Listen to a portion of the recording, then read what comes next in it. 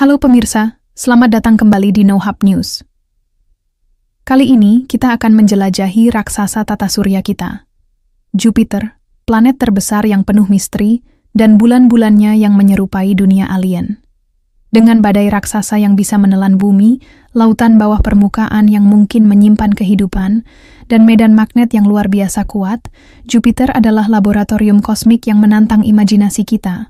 Dari Galilea yang pertama kali mengamati bulan-bulannya hingga misi antariksa modern, kita akan mengungkap rahasia planet ini dan mengapa bulan-bulannya seperti Europa, Ganymede, dan Callisto bisa menjadi kunci untuk menemukan kehidupan di luar bumi.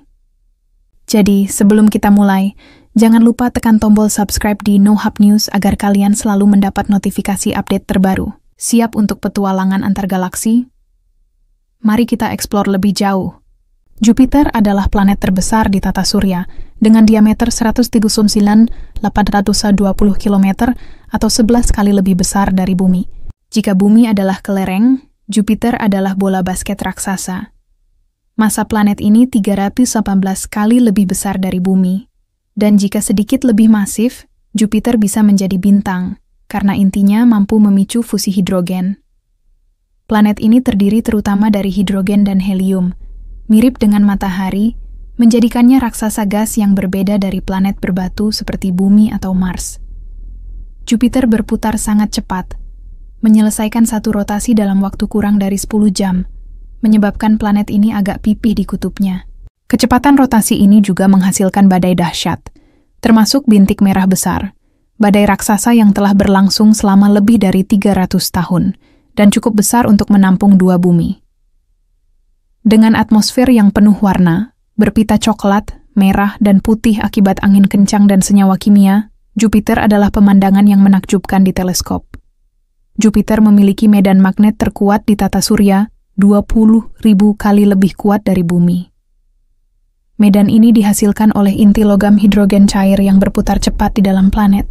Medan magnet ini menciptakan sabuk radiasi yang sangat intens, yang bisa merusak peralatan antariksa, dan bahkan membahayakan astronaut jika manusia pernah mendarat di dekatnya. Sabuk radiasi ini juga menghasilkan aurora spektakuler di kutub Jupiter, jauh lebih besar dan terang daripada aurora bumi. Fenomena ini didorong oleh partikel bermuatan dari bulan vulkanik Io yang berinteraksi dengan medan magnet. Medan magnet Jupiter juga memengaruhi bulan-bulannya, menciptakan lingkungan yang dinamis dan penuh energi yang terus dipelajari oleh ilmuwan. Jupiter memiliki setidaknya 95 bulan, tetapi empat yang paling terkenal adalah bulan-bulannya Galilea, Io, Europa, Ganymede, dan Callisto yang ditemukan oleh Galileo Galilei pada tahun 1610. Penemuan ini merevolusi astronomi, membuktikan bahwa tidak semua benda langit mengorbit bumi dan mendukung teori heliosentris Kopernikus. Keempat bulan ini sangat berbeda. Masing-masing menawarkan petunjuk tentang evolusi tata surya dan potensi kehidupan. Io adalah bulan paling vulkanik di tata surya, dengan ratusan gunung api aktif yang menyemburkan lava hingga ketinggian 500 km. Eropa menyimpan lautan air cair di bawah permukaan esnya, menjadikannya kandidat utama untuk mencari kehidupan. Ganymede, bulan terbesar di tata surya, bahkan lebih besar dari Merkurius dan memiliki medan magnet sendiri. Kalisto, dengan permukaan penuh kawah, adalah arsip geologis yang mencatat sejarah awal tata surya. Io adalah neraka kosmik. Permukaannya dipenuhi gunung api yang terus meletus, didorong oleh pemanasan pasang surut akibat tarikan gravitasi Jupiter dan bulan-bulannya lainnya, Europa dan Ganymede. Proses ini, yang disebut resonansi orbital, menyebabkan interior Io memanas, menghasilkan aktivitas vulkanik yang tak pernah berhenti. Lava di Io mengandung sulfur, memberikan warna kuning, oranye, dan merah yang mencolok. Letusan Io juga menyemburkan partikel ke ruang angkasa, membentuk torus plasma di sekitar Jupiter yang memengaruhi medan magnetnya.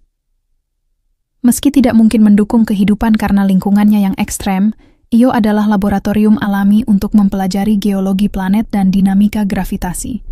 Eropa adalah salah satu target utama dalam pencarian kehidupan di luar bumi. Di bawah lapisan es setebal 10 hingga 30 km, Eropa menyimpan lautan air cair yang diperkirakan dua kali lebih besar dari semua lautan bumi digabungkan. Lautan ini tetap cair karena pemanasan pasang surut, mirip dengan Io, yang menghasilkan energi dari tarikan gravitasi Jupiter. Permukaan Eropa penuh dengan retakan dan garis-garis merah, menunjukkan aktivitas geologis yang masih berlangsung. Beberapa ilmuwan percaya bahwa air dari lautan ini kadang-kadang mencapai permukaan melalui celah-celah, membawa senyawa kimia yang bisa mendukung kehidupan mikroba. Misi seperti Europa Clipper yang direncanakan NASA untuk diluncurkan pada 2030 akan menjelajahi bulan ini untuk mencari tanda-tanda kehidupan. Ganymede adalah bulan terbesar di tata surya, dengan diameter 5 pabia 208 km, lebih besar dari Merkurius. Uniknya, Ganymede adalah satu-satunya bulan yang diketahui memiliki medan magnet sendiri, kemungkinan dihasilkan oleh inti besi cair. Bulan ini memiliki permukaan campuran antara daerah tua penuh kawah dan daerah muda dengan alur, menunjukkan aktivitas tektonik di masa lalu. Ganymede juga diperkirakan memiliki lautan air asin di bawah permukaannya, meski lebih dalam dan lebih kecil daripada Eropa. Kombinasi medan magnet, lautan, dan komposisi kimianya menjadikan Ganymede target menarik untuk penelitian. Misi JUICE, Jupiter Icy Moons Explorer, dari ESA, yang akan tiba pada 2031 akan mempelajari Ganymede secara mendalam, mungkin mengungkap lebih banyak tentang potensinya untuk kehidupan. Kalisto adalah bulan paling jauh dari Jupiter di antara bulan-bulannya Galilea, membuatnya kurang terpengaruh oleh pemanasan pasang surut – Permukaannya adalah yang tertua dan paling penuh kawah di tata surya, seperti buku sejarah kosmik yang mencatat tabrakan meteor selama miliaran tahun. Kawah terbesar, Valhalla, memiliki diameter 1.500 km, menunjukkan sejarah geologis yang kuno. Meski tampak tidak aktif, Kalisto juga diperkirakan memiliki lautan bawah permukaan, terdeteksi melalui interaksinya dengan medan magnet Jupiter. Karena lokasinya yang lebih jauh dari sabuk radiasi Jupiter, Kalisto dianggap sebagai lokasi potensial untuk pangkalan manusia di masa depan, memberikan tempat yang relatif aman untuk menjelajahi sistem Jupiter. Jupiter telah memikat manusia selama berabad-abad. Galileo Galilei adalah orang pertama yang mengamati bulan-bulannya pada 1610, menggunakan teleskop sederhana, mengubah pemahaman kita tentang alam semesta. Pengamatan ini membuktikan bahwa benda langit bisa mengorbit sesuatu selain bumi, mendukung revolusi ilmiah. Sejak itu, Jupiter menjadi subjek utama dalam astronomi. Pada abad ke-20, misi antariksa seperti Pioneer, Voyager, dan Galileo memberikan data terperinci tentang Jupiter dan bulan-bulannya. Voyager 1 dan 2 yang melintas pada 1979 mengungkap aktivitas vulkanik Io dan retakan es Eropa. Misi Galileo yang mengorbit Jupiter dari 1995 hingga 2003 memberikan gambar close-up dan data tentang medan magnet. Baru-baru ini, Juno, yang tiba pada 2016, terus mengungkap rahasia atmosfer dan inti Jupiter. Misi Juno telah merevolusi pemahaman kita tentang Jupiter. Dengan kamera dan sensor canggih, Juno mengungkap pola badai yang kompleks, termasuk siklon raksasa di kutubnya. Data Juno juga menunjukkan bahwa inti Jupiter mungkin tidak padat, melainkan kabur, terdiri dari campuran logam hidrogen dan batuan. Penemuan ini menantang model tradisional tentang pembentukan raksasa gas. Di masa depan, misi seperti Europa Clipper dan JUICE akan fokus pada bulan-bulannya Galilea. Europa Clipper akan mengukur ketebalan es Eropa dan mencari senyawa organik, sementara JUICE akan menjelajahi Ganymede dan Callisto. Misi-misi ini bisa menjawab pertanyaan besar. Apakah ada kehidupan di lautan bulan-bulannya Jupiter? Dan bagaimana planet ini terbentuk di awal tata surya? Jupiter sendiri tidak ramah bagi kehidupan karena tekanan ekstrim, radiasi, dan kurangnya permukaan padat. Namun, bulan-bulannya, terutama Eropa, adalah kandidat kuat untuk kehidupan mikroba. Lautan Eropa mengandung air, energi dari pemanasan pasang surut, dan kemungkinan senyawa kimia, tiga bahan utama untuk kehidupan.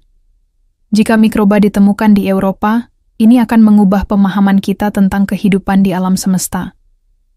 Ganymede dan Callisto juga menarik, meski peluang kehidupannya lebih kecil karena lautan mereka lebih dalam dan kurang aktif.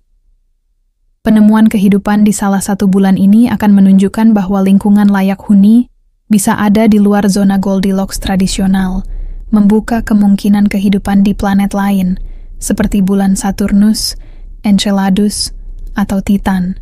Jupiter telah lama menginspirasi manusia. Dalam mitologi Romawi, Jupiter adalah dewa tertinggi, penguasa langit dan petir, mencerminkan kemegahan planet ini. Dalam astrologi, Jupiter melambangkan keberuntungan dan ekspansi. Secara ilmiah, Jupiter adalah kunci untuk memahami pembentukan tata surya. Sebagai raksasa gas pertama yang terbentuk, Jupiter memengaruhi orbit planet lain dan melindungi bumi dari komet dengan gravitasinya yang kuat. Di Indonesia, pengamatan Jupiter melalui teleskop amatir semakin populer dengan komunitas astronomi seperti Himpunan Astronomi Amatir Indonesia, HAI, mengadakan acara pengamatan. Pendidikan tentang Jupiter juga penting untuk menginspirasi generasi muda, terutama di negara dengan potensi besar dalam sains dan teknologi seperti Indonesia. Jupiter dan bulan-bulannya adalah pengingat bahwa alam semesta penuh dengan keajaiban yang menanti untuk dijelajahi. Dari badai raksasa hingga lautan tersembunyi, sistem Jupiter adalah laboratorium kosmik yang mengajarkan kita tentang pembentukan planet, dinamika gravitasi, dan potensi kehidupan. Namun, ini juga mengingatkan kita akan kerendahan hati. Kita hanyalah bagian kecil dari alam semesta yang luas. Di No Hub News, kami percaya bahwa eksplorasi sains adalah cara untuk menyatukan umat manusia. Apa pendapat kalian tentang Jupiter dan bulan-bulannya?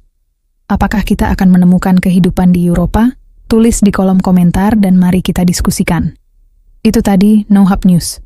Jangan lupa subscribe, like, komen, dan share video ini agar lebih banyak orang terinspirasi oleh keajaiban kosmos. Sampai jumpa pada update berikutnya. Pemirsa, tetap penasaran, tetap explore.